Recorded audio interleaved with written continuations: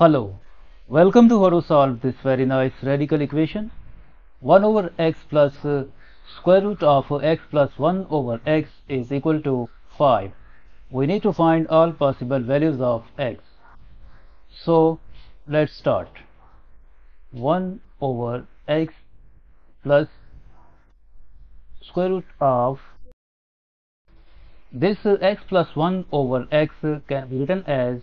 x over x plus 1 over x is equal to 5 next 1 over x plus square root of this x over x is equal to 1 plus 1 over x is equal to 5 now here we have 1 over x and here we have 1 over x. So we suppose that let 1 over x is equal to m. And we substitute m in this equation then this equation will become m plus square root of 1 plus m is equal to 5 now we move this m to the right side. At left side we are left with the square root of 1 plus m is equal to 5 and this positive m becomes negative m at right side. So from here we take square of both sides of this equation. And this square will be cancelled out with this square root. At left side we are left with 1 plus m is equal to by using this algebraic identity a minus b whole squared is equal to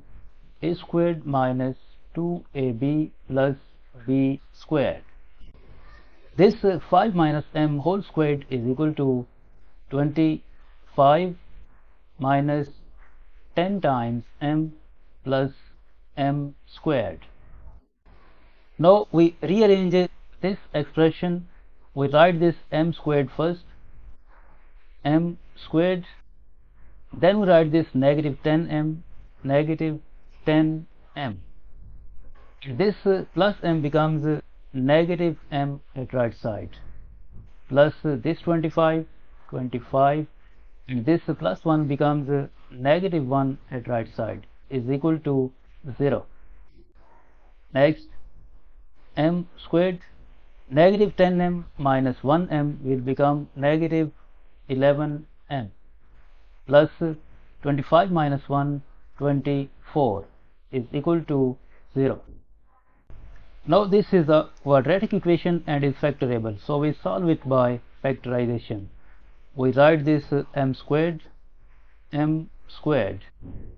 And we split this negative 11m as we split this negative 11m as negative 8m minus 3m plus this 24 24 is equal to 0 now from these two terms uh, we can factor out m. In bracket left m minus 8 from these two terms uh, we can factor out negative 3 negative 3 as a common factor and in bracket left m minus 8 is equal to 0 now as you can see this expression m minus 8 this expression m minus 8 is a common factor. So we factor out this m minus 8 m minus 8 as a common factor and in bracket left in bracket left this m and this negative 3 in bracket left m minus 3 is equal to 0 from here either this expression m minus 8 is equal to 0 or this expression m minus 3 is equal to 0 from this equation we get the value of m 8 and from this equation we get the value of m is equal to 3 now to find the values of x recall that we have supposed we have supposed that 1 over x is equal to m.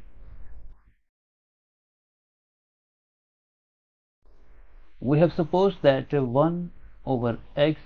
is equal to m.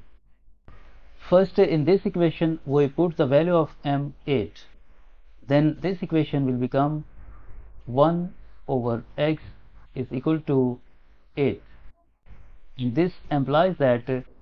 x is equal to 1 over 8 now in this equation we put this value of m 3 then this equation will become 1 over x is equal to 3 and this implies that x is equal to 1 over 3 so for now we get two values of x. x is equal to 1 over 8 and x is equal to 1 over 3 and since uh, we have solved a radical equation we must verify these values of x by putting these values in the original equation. The original equation is 1 over x plus square root of x plus 1 over x is equal to 5 first in this equation we put this value of x 1 over 8 then this equation will become 1 divided by 1 over 8 plus in place of this x we write 1 over 8